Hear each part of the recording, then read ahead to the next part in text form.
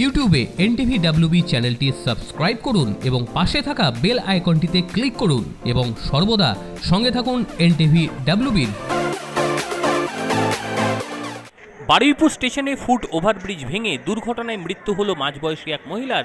মৃতের নাম অসীমা পরামানিক গতকাল রাতে পুজোর বাজার করে ফেরার সময় অসীমা দেবী রেল লাইন পার হচ্ছিলেন।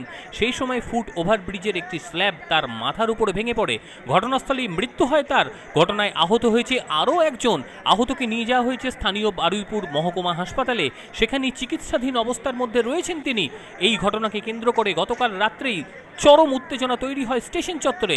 আপাতত রেল ওভারব্রিজটি বন্ধ করে দেওয়া হয়েছে রেলের তরফ থেকে।